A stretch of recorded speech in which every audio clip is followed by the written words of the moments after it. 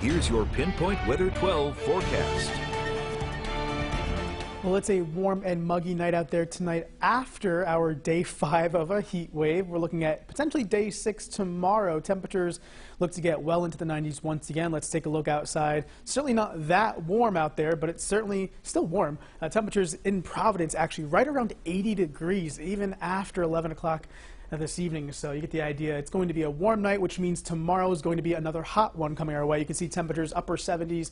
Feels like 82 degrees right now outside. That's when you factor in the heat and the humidity. And uh, you can see the dew points there in the 70s. That tropical air mass still in place. Live radar Overall, locally, we're mainly dry, and I think we're going to stay that way. But there's a couple showers to our north, but notice these keep uh, losing those colors of the yellows and reds and oranges. That means that they are weakening. So that's what we're looking at, a weakening line of showers coming through. Maybe a sprinkle, that's about it, favoring northern areas too. Uh, temperatures in the 70s all across the board. Still on the warm side, though, in Taunton and Providence, nearing 80. Even Smithfield, 77 degrees. Still uh, quite warm out there for this late at night. Heat alert, heat advisory in effect for Tuesday until 8 p.m. for all of Rhode Island and southeastern Massachusetts, excluding Block Island and Nantucket.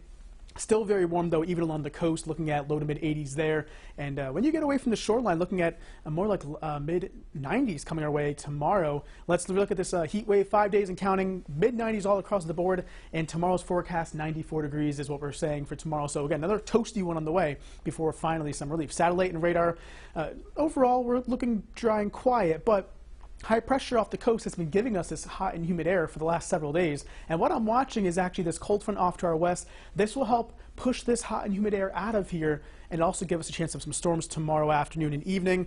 And uh, this is Tuesday's severe threat, a low threat marginal uh, level one, but you can see the dark green shading there that indicates that some of those storms that form could, you know, be on the stronger side and bring some gusty winds and heavy rain tomorrow afternoon. So let's time things out overnight.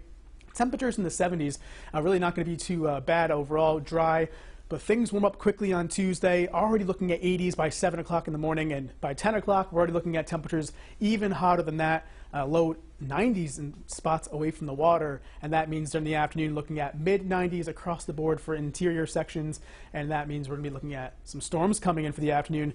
They will help to cool things off a bit though as they come through during the evening hours. You can see those darker reds, yellows, and oranges coming through. Temperatures drop back into the 70s, so quite a bit of a change of temperatures once those storms do roll through, and then we uh, look to see some more showers tomorrow night uh, as we head into uh, Wednesday as well. Seven day forecast. Again, we're tracking those showers coming through, some storms as on Tuesday afternoon and evening. That breaks the heat. Showers linger Wednesday into Thursday. Temperatures, though, staying in the low 80s all the way through the end of the week into the weekend. Low humidity, too. So a nice end of the week into the weekend forecast coming up with seasonable conditions.